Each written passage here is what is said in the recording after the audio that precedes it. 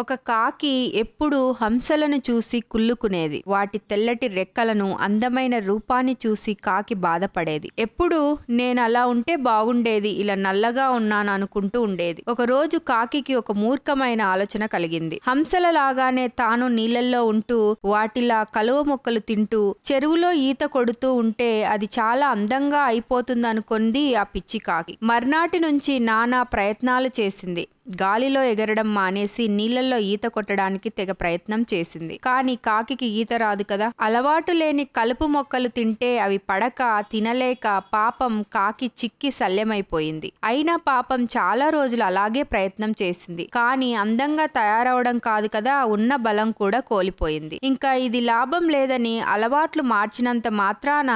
రూపం మారిపోదని తెలుసుకొని కాకి ఆ పైన హంసలను చూసి అసూయపడడం మానేసింది